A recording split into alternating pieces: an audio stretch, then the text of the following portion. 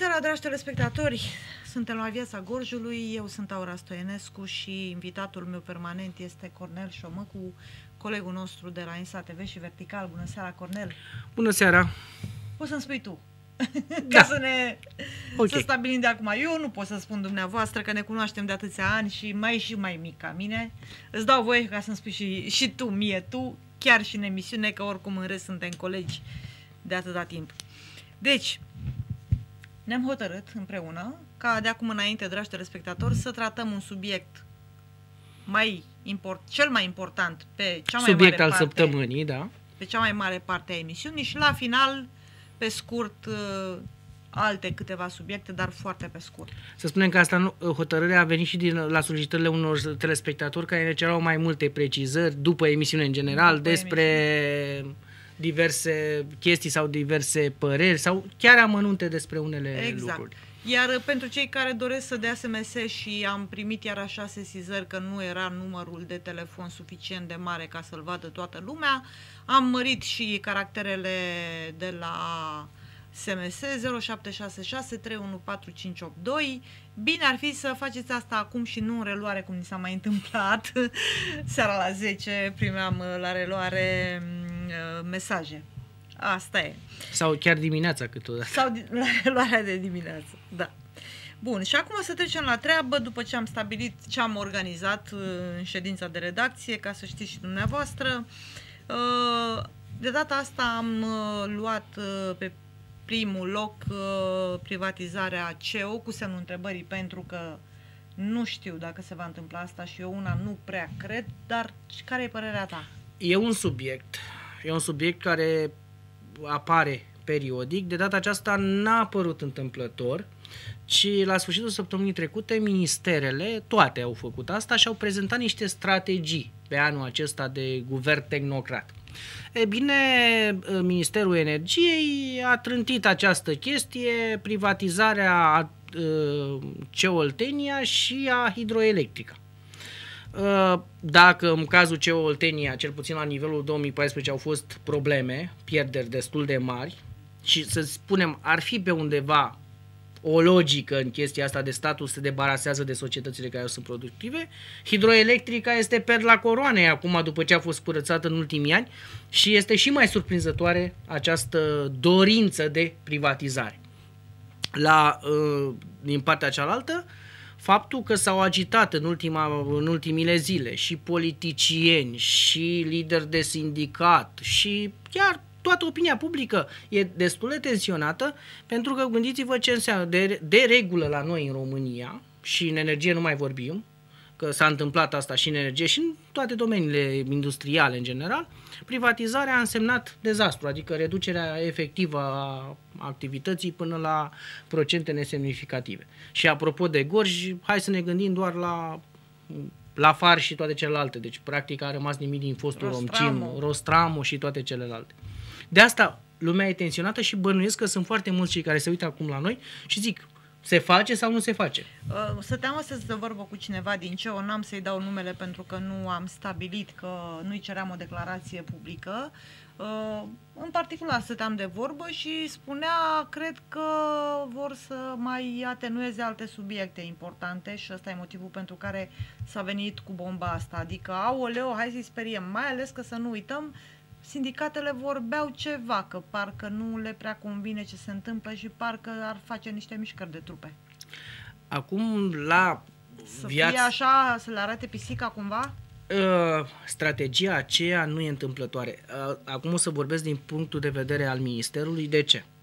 Să nu uităm că în ultimii doi ani, conform înțelegerilor cu FMI-ul, guvernul și guvernul Ponta a făcut la fel, a prins procedurile de privatizare cel puțin a unui procent, era 15% din CO, pentru a cumva a scoate pe bursă, se vorbea de vreo 200 de milioane de euro care ar valora, după pierderile care au fost în ultimii ani și mai ales după ce s-a refăcut capitalul, adică a fost recalculat ce înseamnă CO, acum e un dezastru. N-are cum să mai, nu poți să iei pe 15%, 200 de milioane, când toată compania nu mai valorează decât vreo 700 de milioane. Uh, cred că este destul de ciudată această socoteală, pentru că dacă am luat doar valoarea de inventar a unei termocentrale, cu siguranță se duce mult mai mult, sau doar lucrările de investiții din ultimii ani au bătut miliardul. Deci, acum 2 ani faci investiție de un miliard de euro, iar acum a vins cu mai puțin, deci valorează toată compania, mi se pare Măcar valorează cât fierul vechi de da. acolo? Da, da e, bună între, e bună întrebarea, am în vedere că... Evaluarea asta care s-a făcut? Că s-au făcut uh, multe averi în gor și în țară, s-au făcut pe fierul vechi din uh, Diverse... vechea, vechea SNLO, ca să nu mai zicem de, de da. altele. Da. Dar, uh, deci, pe undeva acel anunț de strategie era normal. Astăzi a și apărut o precizare a Ministerului în care se referă la un procent care va fi privatizat. Eu nu cred că se va produce, pentru că nu este atractiv. Uh, acum mai e și o altă Depinde chestie. Depinde la cât se vinde. Uh, Dacă se păi vinde nu. ca flota, a, dacă vindem, dacă vindem pe un euro sau pe ceva, da, bănuiesc că este este destul de Găsim. ofertant. M-ar interesa și pe mine la un euro să cumpăr un CEO. Cred că nu, n-ai fi, cred că n-ai fi singurul Așa candidat, e? deci cu siguranță s-ar găsi. Facem o licitație, poate până la 2-3 euro urcă valoarea. Uh, acum vorbim, vorbim, serios. da, vorbim puțin mai serios.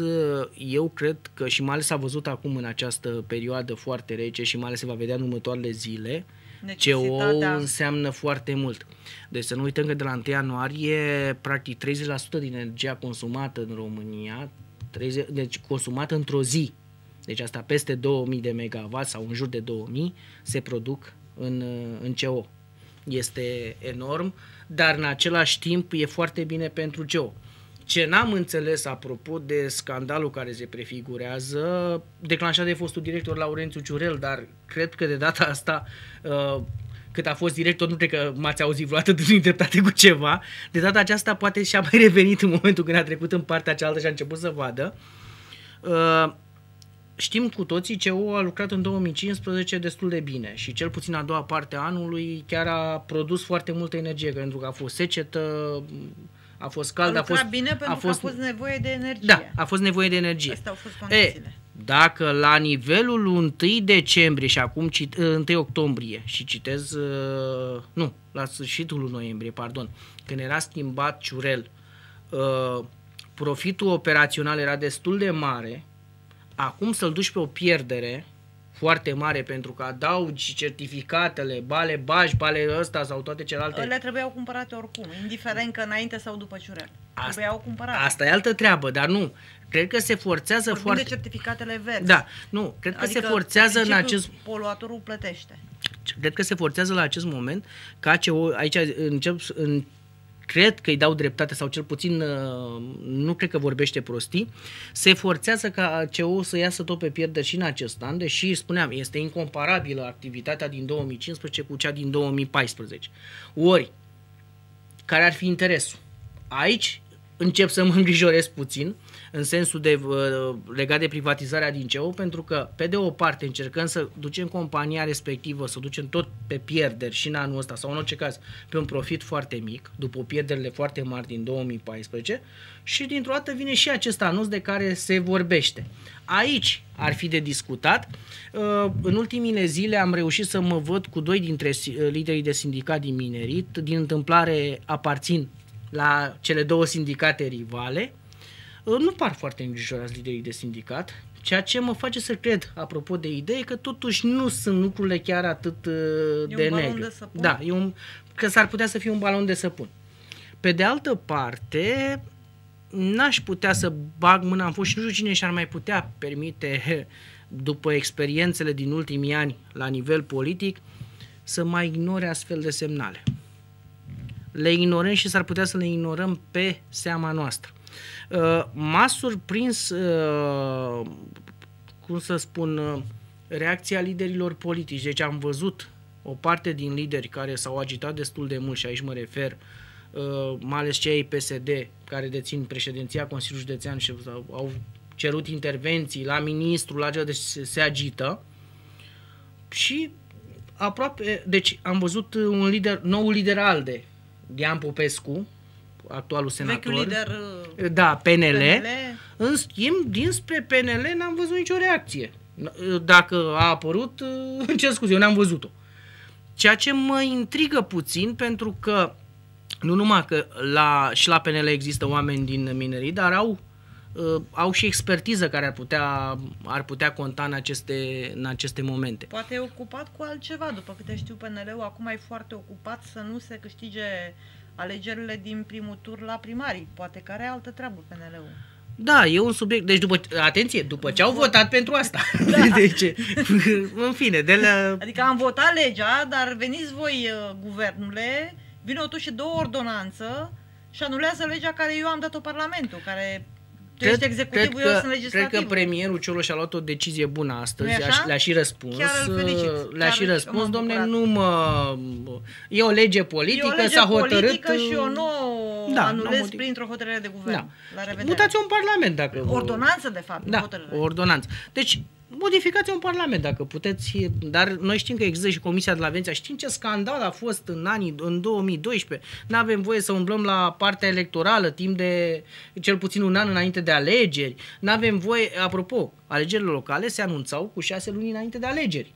Acum, cinstind, încă o dată, repet, nu știm... Eu am citit undeva că totuși chiar și cu 45 de zile. Da, acum se, se poate chestia asta, dar înainte se respecta chestia asta. Acum putem să avem chestia, cu siguranță vor fi ori sfârșit de mai, ori început de iunie, dar a schimba din nou chestia cu primarii sau altceva, mi se pare... Dar de ce e atât de greu să stabilească data? Mai sunt câteva luni. Patru luni, trei luni, cinci. Uh, de ce e greu acum... să spună în ziua de?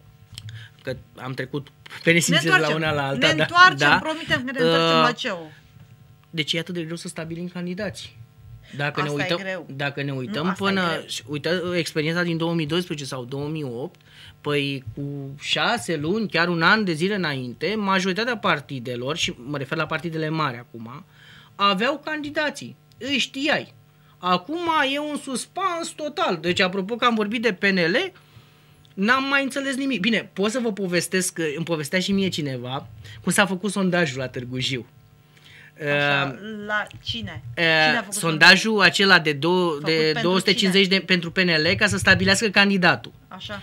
S-a plătit vreo 250 de milioane sau ceva, lei vechi, ceva pe el. Bine, asta e o, e o informație, noi nu garantăm. Uh, că, info- că s-a plătit atâta, nu, e, e cifră oficială. Nu Ai cifră oficială? Da, da e anunțată. În... Dar nu, cum s-a făcut, asta e de uh, povestea cineva. Domnule, s-au pus niște nume, numele respective și au mai fost adăugate unul care semăna, de fapt de pe la PRM, dar semăna cu un important om de afaceri de la Târgu Jiu, care va candida din partea unui partid, nu omul de afaceri celălalt, dar se, numai prenumele diferea și au mai adăugat un nume, două pe listă. Și era cu tableta, îl punea în fața cetățeanului și el să bifeze, să, ăsta, ca să nu mai fie nicio problemă cu scris sau altceva. Cetățenii au fost atrași foarte mulți de primul nume, de ăsta, dar nu l-au votat că era cu partidul ăla sau ălălalt. Pur și simplu le suna lor numele cunoscut. cunoscut. Și au, de au ieșit Pe candidații... principiul de ăsta am auzit. Hai da, să-l candidații PNL-ului au ieșit destul de șifonați în acest sondaj. S-au refăcut după aceea pe zone, pe asta s-a mai încercat, s-au mai cosmetizat lucrurile, dar nu știu cât de relevant e un asemenea sondaj dacă s-a plătit cu, cu, cu sumele respective în condițiile astea. De asta ei caută un alt candidat. Dar acum dacă el se va numi, cum se speculează, din afara județului Tudor Barbu, ce legătură ar avea el cu Târgu Jiu? Mai ales că din câte știu nici domiciliu. Cred că mai era problema de domiciliu pe, ora, pe localitatea respectivă, nu? Păi, Sau se poate candida așa? Eu știu, uite, de exemplu, tocmai asta vorbeam astăzi cu cineva, că, de exemplu, primarul de la Câlnic locuiește în Târgu Jiu. O fi adevărat? De locuit, sigur locuiește în Târgu Jiu. Și e normal? Păi da, nu, problema depinde unde are domiciliu. De, depinde unde are domiciliul în documente. Ah. Da, da, contează dacă ești navatist sau nu.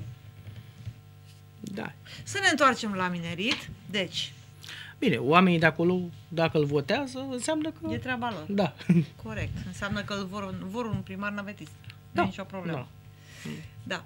Uh, oricum sunt foarte multe localități afectate de, de complexul energetic și ca terenuri, uh, acum se merge pe acea expropiere, uh, s-a trecut uh, și e mare, mare nebunie, primăriile sunt disperate că se merge pe varianta asta, adică sunt disperate, au foarte mult de lucru. În momentul în care se face uh, expropierea pentru utilitate publică a terenurilor, pentru că sunt cariere blocate din cauza asta, care ar mai avea rezervă, dar nu pot să meargă înainte pentru că nu sunt anumite persoane uh, de acord să cadă la învoială, până acum s-a mers pe negociere, acum deja se trece pe utilitate publică, nu știu dacă părerea ta este un lucru bun sau rău, dar erau oameni care cereau lucruri aberante. Chiar discutam astăzi cu cineva din minerii, zice, domne, dar chiar să-mi cer să-l pun director adjunct când el n-are nicio treabă cu mineritul, cu nu, energia, asta, cu nimic. Asta e o aberație, cu a-l pune director sau ceva. Nu, asta, vrea adjunct. Nu, a, nu era asta cu angajarea. Păi, până la urmă tot aia e. da. uh, cu angajările mi se pare corect, în condiții în care nu sunt locuri de muncă, în momentul când vinde un teren la, la CO, e normal să-i angajezi pe cineva din familie. Asta mi se pare o decizie corectă. Problema e la bani și aici uh, discrepanțele le-au făcut tot cei din minerit. Adică o casă luată chiar în, în anii trecuți costa câteva miliarde și acum vrei să-i dai omului de nu știu câte ori mai puțin. Nu e în regulă sau poți să faci altă chestie. Chiar vedeam uh, la televizor, am văzut uh, o băbuță care îi dărâmă casa, acum este zona mătăsari și spunea, domne, eu nu vreau bani.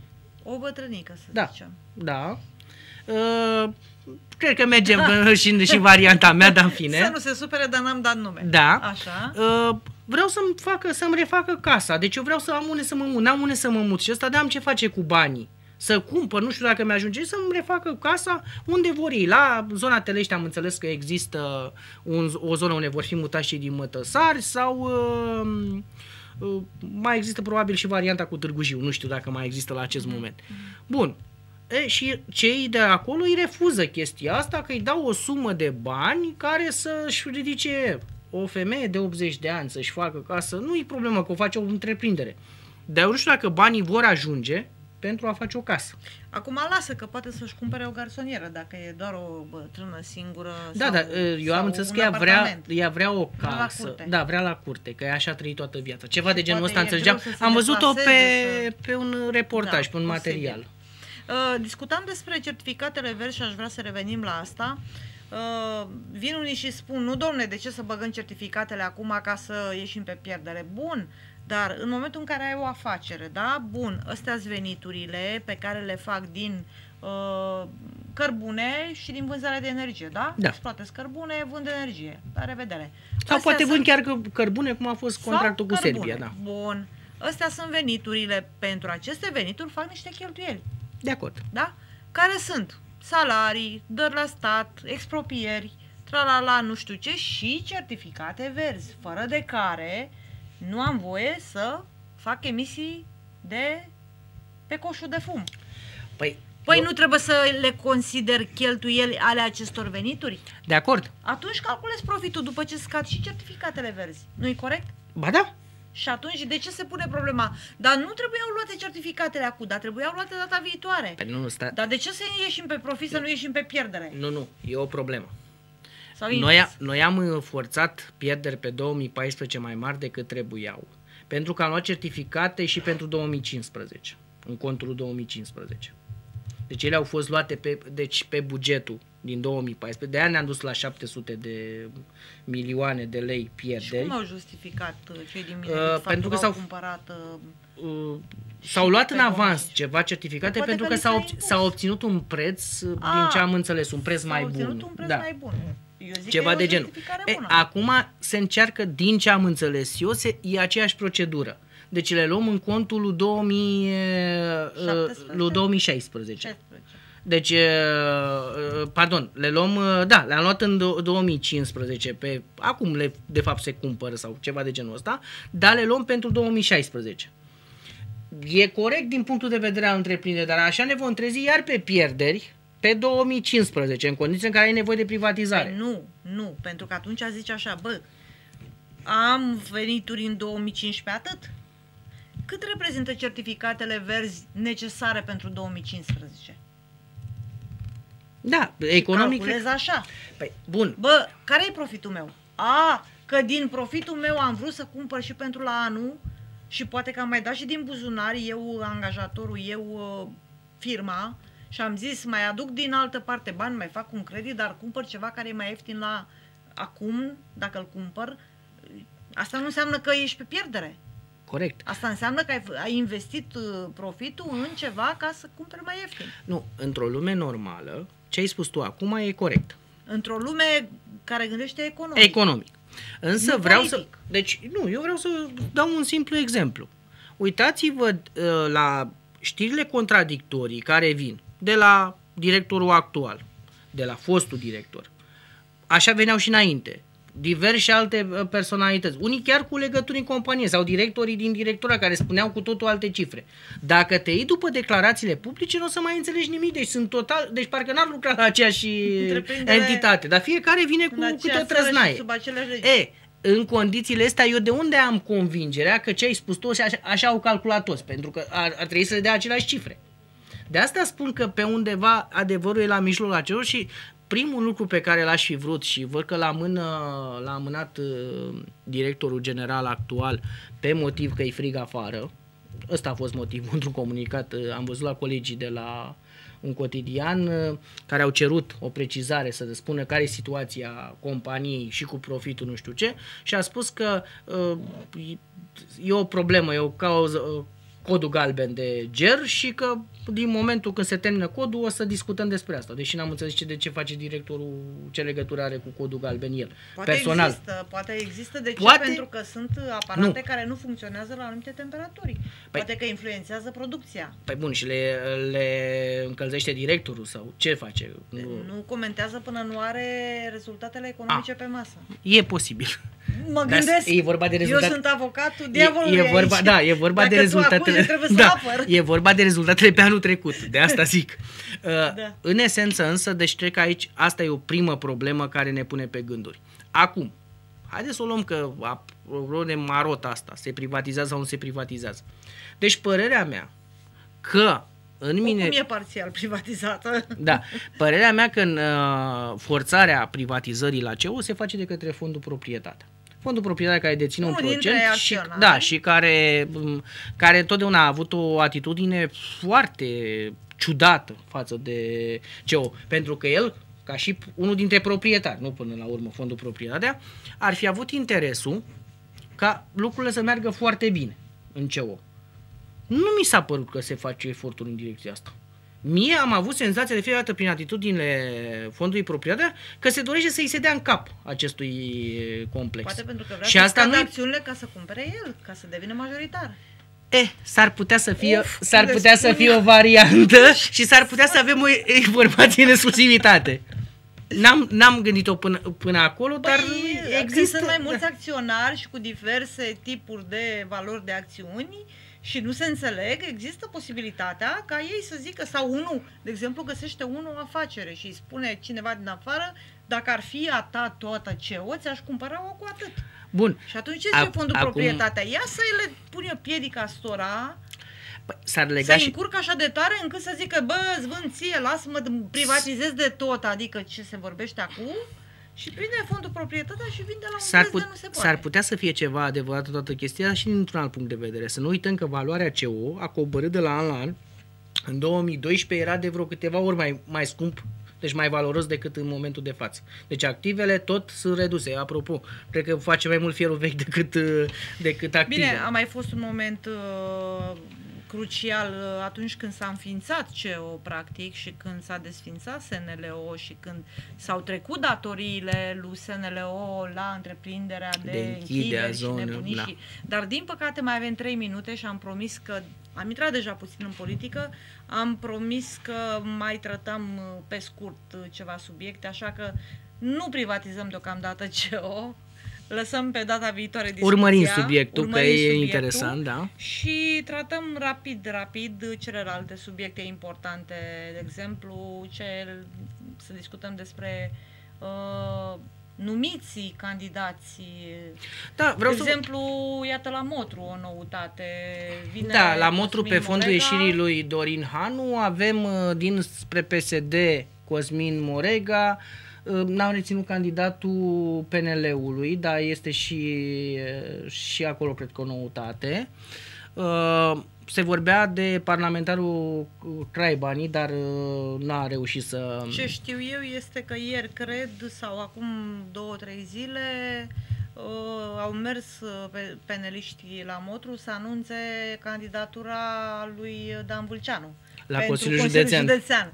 Dar candidatul pentru Motru nu l-aveau sau mă rog, nu l-au Nu, cred că l-au anunțat stabilit între timp. Între timp. Există, da, Da? există un nume din Păi ce am e văzut, clar, dar nu dar l-am reținut. Mie Înseamnă mai puțin că cunoscut. Nu e un nume Uh, cunoscut. surpriza pe undeva și a spune că e, sau normalitatea pe undeva, s-a tot speculat în ultimile luni că nu vom avea, nu vom înregistra candidaturile nici al lui Florin Cârciumaru la primăria Târgu Jiu, nici al lui Ion Călinoiu la Consiliul Județean. Și totuși, Dacă, da, și totuși, dacă la Ion Călinoiu încă nu este oficial, Florin Cârciumaru a spus, nu, eu candidez din nou, s-a, a existat și o marotă, că vezi, doamne, Liviu Dragnea n-ar dori candidatura lui Florin Cârciumaru la primăria Târgu Jiu. Bine, Florin Cărciumaru a spus, eu candidez, asta este intenția mea, dar totuși am nevoie de... Păi nu, uh, sâmbătă, avizul? sâmbătă a fost uh, Consiliul, Comitetul, cum naiba se numește, conducerea PSD-ului A, la, ăla. la Piatra Neamț, s-a întâlnit uh, sau, și n-a fost, a fost ok convorbirea și din câte am înțeles, conducerea județeană aleasă are libertate de mișcare, deci A partidului a da, PSD -ului, PSD-ului da? și candidații vor fi până la începutul lunii februarie, chiar mai devreme de jumătatea lunii, cum a anunțat Liviu Dragnea, se vor ști toți candidații din uh, județul Gorj. Planul, din ce am înțeles al PSD-ului, fiind de 50 de primari din 70 de localități, deci un rezultat mai bun decât uh, Asta, atât dacă vor să câștige. atâtea vor să câștige. Dacă le-ar obține, ar avea un rezultat mai bun decât l-au avut în uh, precedentele E alegeri. normal să vrei să progresezi.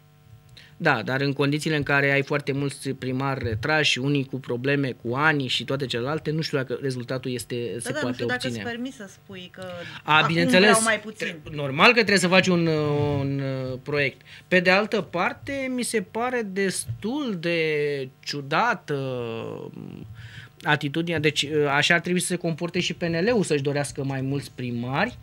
La acest moment uh, nu mi se pare nu mi, nu mi se pare că ar fi foarte conectați la alegeri.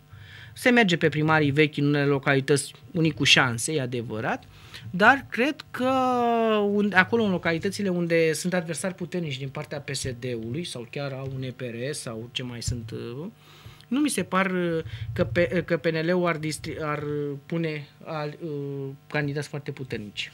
Păi dacă știu că pierd ce rost are să se chinuie Păi să nu, caute. intenția, adică logica ar fi să pună un candidat foarte puternic ca să câștige, Dacă au.